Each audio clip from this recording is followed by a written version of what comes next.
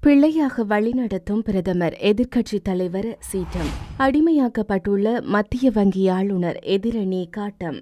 குற்ற கும்பலை சேர்ந்த இருவரை போட்டு தள்ளிய எஸ்டிஎஃப் சந்திரிகாவை கொலை செய்ய முயற்சித்தவருக்கு ஜனாதிபதியின் பொது மன்னிப்பு. தமிழினம் ஆயுதம் ஏந்தியது இதற்காகத்தான் ஸ்ரீலங்கா படையுடன் வெளியேற வேண்டும் ரணிலிடம் இடித்துரைப்பு. இந்தியாவினால் இன்று பாதிக்கப்பட்டுள்ளோம் ஆளும் எம்பி பகிரங்கம். திட்டத்தோடு நாடு திரும்பும் பசில் கசிந்தது ரகசிய திட்டம். அடுக்குமாடி குடியிருப்பு தீ விபத்தில் இருபத்தி ஒரு பேர் பலி காசாவில் சோகம். நாடாளுமன்றத்தை கலைப்பதற்கான விதிமுறைகள் அரசியலமைப்பில் இருக்கும் நிலையில் அதனை இல்லை என தெரிவித்து பிரதமர் மக்களை பிள்ளையாக வழிநடத்த முயற்சிக்கின்றார் என எதிர்க்கட்சித் தலைவர் சஜித் பிரேமதாஸ் தெரிவித்துள்ளார். நாடாளுமன்றத்தில் பெரும்பான்மை உறுப்பினர்களினால் பிரேரணை ஒன்று நிறைவேற்றப்பட்டால் அடுத்த நிமிடமே நாடாளுமன்றத்தை கலைக்கும் அதிகாரம் ஜனாதிபதிக்கு கிடைத்திருக்கிறது என்றும் அவர் மேலும் தெரிவித்துள்ளார். அதனால் மக்களை பிழையாக வழிநடத்த வேண்டாம் என பிரதமரை கேட்டுக்கொள்கின்றோம் நாடாளுமன்றத்தை கலைப்பதற்கு அரசியலமைப்பில் எந்த முறையும் இல்லை என பிரதமர் சபையில் தெரிவித்திருக்கிறார். நாடாளுமன்றத்தை கலைப்பதற்கு அரசியலமைப்பில் விதிமுறைகள் இருக்கின்றன. அதனை புரிந்து கொள்ளாமலே பிரதமர் தெரிவிக்கின்றார். அரசியலமைப்பின் எழுபதின் கீழ் ஒன்று ஆ பிரிவு மற்றும் ஏ பந்திக்கு அமைய நாடாளுமன்றத்தின் பிரேரணை ஒன்றின் அடிப்படையில் நாடாளுமன்றத்தை கலைப்பதற்கு ஜனாதிபதிக்கு முடியுமாகிறது. அதனை எப்போது வேண்டுமானாலும் ஜனாதிபதிக்கு செய்ய முடியும். அதேபோன்று அதேபோன்று அரசியலமைப்பின் பிரகாரம் இரண்டரை வருடங்களுக்கு பின்னர் நாடாளுமன்றத்தை கலைக்கும் அதிகாரம் ஜனாதிபதிக்கு கிடைத்திருக்கிறது. அதனால் அமெரிக்க முறை இலங்கையில் இல்லை என எமது உறுப்பினர் ஹர்ஷடி சில்வாவை பிரதமர் அவமதித்திருக்கிறார். அதனால் மக்களை பிள்ளையாக வழிநடத்த வேண்டாம் என பிரதமரை கேட்டுக்கொள்கின்றேன் எனவும் அவர் மேலும் தெரிவித்துள்ளார்.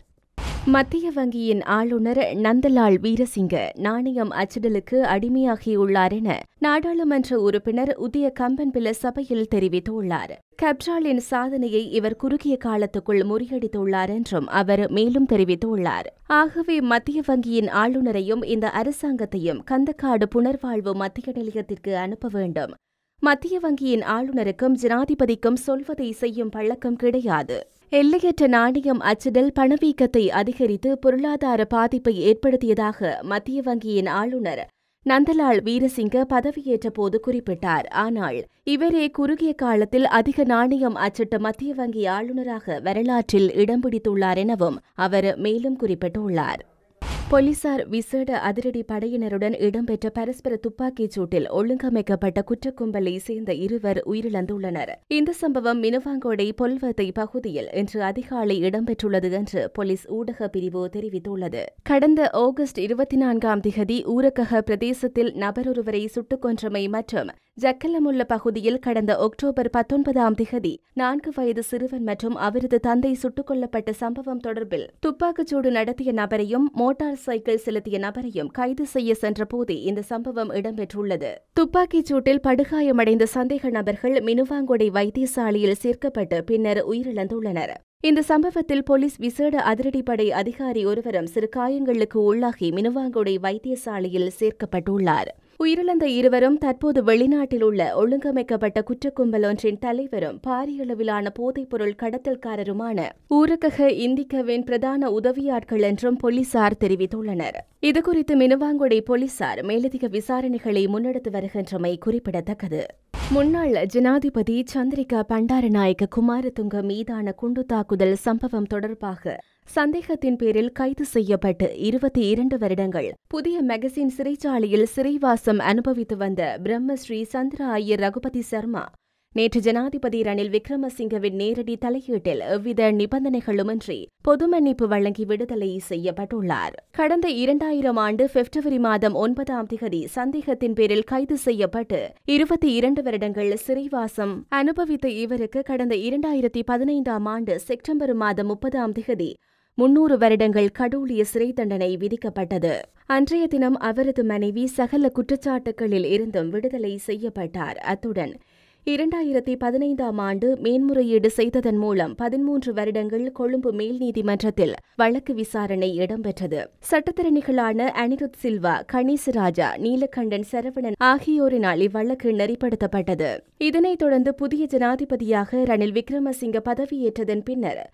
பிரம்மஸ்ரீ சந்திர ஐயர் ரகுபதி சர்மா தனது விடுதலை தொடர்பில் ஜனாதிபதிக்கு விண்ணப்பித்துள்ளார். இவரின் விண்ணப்பத்தை பரிசீலித்த ஜனாதிபதி முன்னாள் ஜனாதிபதி சந்திரிகா பண்டாரநாயக்க குமாரதுங்க அம்மையாரின் கவனத்துக்கு கொண்டு வந்ததுடன் அம்மையாரின் அனுமதியுடன் நீதி அமைச்சர் விஜயதாச ராஜபக்ஷவின் சிபாரிசின் பேரில் எந்தவித நிபந்தனைகளுமின்றி உடன் பொது மன்னிப்பு வழங்கியுள்ளமை குறிப்பிடத்தக்கது.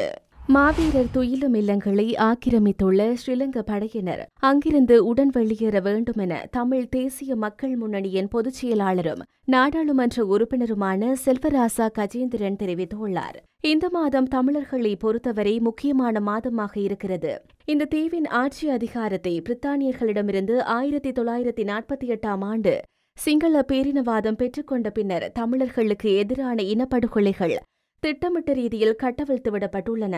ஆயிரத்தி தொள்ளாயிரத்தி எழுபத்தி ஏழு ஆயிரத்தி தொள்ளாயிரத்தி எண்பத்தி மூன்று ஆயிரத்தி தொள்ளாயிரத்தி எண்பத்தி ஏழு கலவரங்கள் என்று படுகொலைகள் இடம்பெற்ற நிலையில் அதிலிருந்து தங்களை தற்காத்துக் கொள்வதற்காக தமிழினம் ஆயுதமேந்தி போராடியது. அவ்வாறான ஆயுத போராட்டம் முப்பத்தி ஏழு ஆண்டுகள் நடந்துள்ளன. இந்த விடுதலை போராட்டத்தில் ஐம்பதாயிரத்திற்கும் மேற்பட்ட இளைஞர்கள் யுவதிகள் தங்கள் உயிர்களை தியாகம் செய்துள்ளனர். அவர்களை நினைவுகூரும் மாதத்தில் நாங்கள் நிற்கின்றோம். இந்த நிலையில் எங்களுக்காக உயிர் நீத்த அந்த மாவீரர்களுக்காக ஒரு கணம் தலை சாய்த்துக் கொள்கிறேன். இந்த விடயத்தில் அதிபர் இருப்பதால் சில விடயங்களை முன்வைக்க விரும்புகின்றேன். நாங்கள் உறவுகளை நினைவுகூரும் வேளையில் அந்த உரிமைகள் மறுக்கப்பட்டு இராணுவத்தினரதும் காவல்துறையினரதும் கெடுபிடிகளுக்கு மத்தியிலேயே அவை நடக்கின்றன. மாவீரர் துயிலும் இல்லங்கள் பல இராணுவத்தினரால் ஆக்கிரமிக்கப்பட்டுள்ளன. அந்த இடங்களிலிருந்து இராணுவத்தினர் வெளியேறி புனிதமான இடமாக அவற்றை பேணுவதற்கு இடமளிக்க வேண்டும் என்று கேட்பது நினைவேந்தல் நடத்த பல்லாயிரக்கணக்கான மக்கள் ஒன்று கூட வேண்டும் என்றும் கேட்டுக்கொள்கின்றேன் என்றும் அவர் மேலும் தெரிவித்துள்ளார். இந்தியாவின் அழுத்தத்தினால் வடக்கு மாகாணத்தில் சீனாவிற்கு அபிவிருத்தி செயல் திட்டங்கள் மறுக்கப்பட்டன. இந்தியாவின் பாதுகாப்பு நிமித்தம் எடுக்கப்பட்ட ஒரு சில தீர்மானங்கள் இலங்கையின் வெளிவிவகார கொள்கையின் தன்மையை கேள்விக்குறியாக்கியுள்ளது. ஆகவே வெளிவிவகார கொள்கை மறுசீரமைக்கப்பட வேண்டுமென நாடாளுமன்ற உறுப்பினர் அட்மிரல் சரத் வீரசேகர தெரிவித்துள்ளார். எமது நாட்டின் வெளிவிவகார கொள்கை பொருளாதாரத்திற்கு பாதிப்பை ஏற்படுத்தியுள்ளது. நாட்டின் சுயாதீனத்தன்மையை பாதிக்கும் வகையில் வெளிவிவகார கொள்கை நடுநிலையான தன்மையில் பேணப்பட வேண்டும். எமது நாட்டின் வெளிவிவகார கொள்கை பொருளாதாரத்திற்கு பாதிப்பை ஏற்படுத்தியுள்ளது. நாட்டின் சுயாதீனத்தன்மையை பாதுகாக்கும் வகையில் வெளிவிவகார கொள்கை நடுநிலையான தன்மையில் பேணப்பட வேண்டும். விடுதலை புலிகள் அமைப்பின் ஆதரவாளர்கள் இன்றும் உலக நாடுகளில் வாழ்கிறார்கள். கொழும்பு துறைமுகத்தின் கிழக்கு முனையத்தை இந்தியாவிற்கும் ஜப்பான் நாட்டிற்கும் வழங்க முயற்சி எடுக்கப்பட்டது.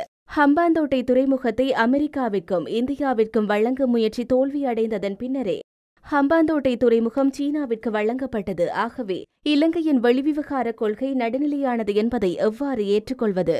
இந்தியாவின் பாதுகாப்பு காரணிகள் நிமித்தம் எடுக்கப்பட்ட ஒரு சில தீர்மானங்கள் இலங்கையின் வெளிவிவகார கொள்கையை கேள்விக்குள்ளாக்கியது. இந்தியாவின் அன்றைய கொள்கைக்கும் இன்றைய கொள்கைக்கும் இடையில் வேறுபாடுகள் காணப்படுகின்றன. இந்தியாவின் பிராந்தியங்களை ஆட்சி செய்தவர்களின் கொள்கைக்கு அமைய இந்தியாவுடனான இலங்கையின் வெளிவிவகார கொள்கை காணப்பட்டது என்றும் அவர் மேலும் தெரிவித்துள்ளார்.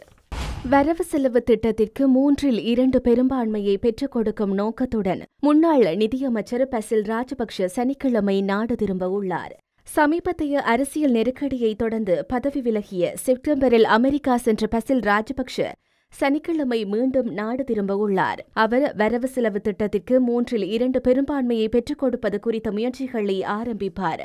அமெரிக்காவிலிருந்து புறப்பட்டுள்ள பசில் ராஜபக்ஷ சனிக்கிழமை நாட்டை வந்தடைவார்.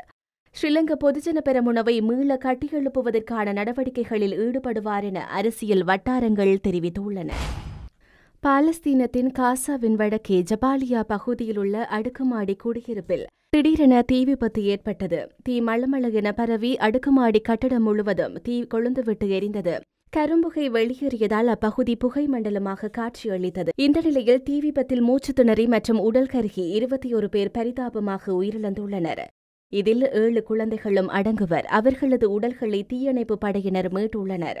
தீ விபத்து குறித்து தகவல் அறிந்த பாலஸ்தீன அதிபர் இரங்கல் தெரிவித்ததுடன் தேசிய அளவில் துக்கம் அனுசரிக்கப்படும் எனவும் கொடிகள் அரைக்கம்பத்தில் பறக்கவிடப்படும் எனவும் தெரிவித்துள்ளார். அடுக்குமாடி குடியிருப்பில் தீ விபத்து ஏற்பட்டு இருபத்தி ஒரு பேர் பலியானது அங்கு சோகத்தை ஏற்படுத்தியிருக்கிறது.